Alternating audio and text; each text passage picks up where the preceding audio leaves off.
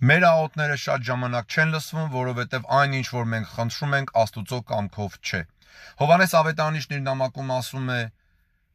Ինչ էլ խնդրենք ըստ նրա կամքի, նա մեզ կլսի։ Եվ քանի որ գիտենք, որ նա լսում է մեր խնդրանքները, ապա գիտենք նաև, որ կստանանք այն խնդրանքները, որ հայցեցինք նրանից։ Տեսակ սիրելի ժողովուրդ, այստեղ մի նրբություն կա։ Ինչ էլ որ խնդրենք ըստ նրա կամքի։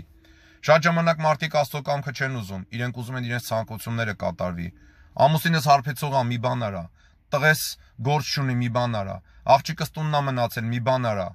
բայց ես քեզ չեմ ուզում։ Ես քո պատվիրաններով ապրել չեմ ուզում։ Ես չեմ ուզում ապաշխարել ու քեզ դառնալ։ Սիրելի բարեկամներ, տեսնում եք մարդիկ գնում են Աստծո մոտ իրենց խնդիրները լուծելու, բայց Աստուծո կամքը իրենց համար չեն փնտրում։ Դրա համար էլ ամեն ինչ մնում է անպատասխան։ Ես խնդրում եմ մտածեք այս բաների մասին։ Դուք ինչի եք գնում Քրիստոսի մոտ։ Իրեն ուզելու, թե ձեր խնդիրները լուծելու։